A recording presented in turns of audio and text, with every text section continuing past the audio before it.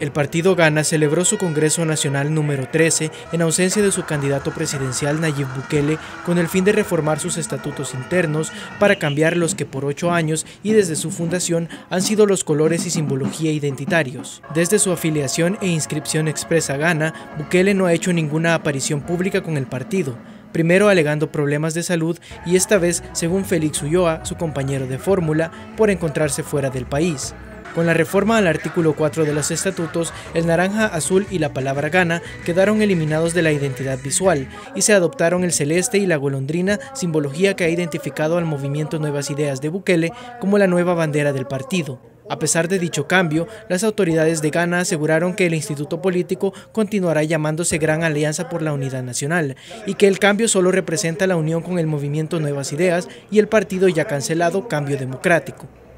Aunque el partido ya hizo oficial los cambios, será el Tribunal Supremo Electoral quien deberá avalarlos para que sea esa la bandera que aparezca en las elecciones de 2019.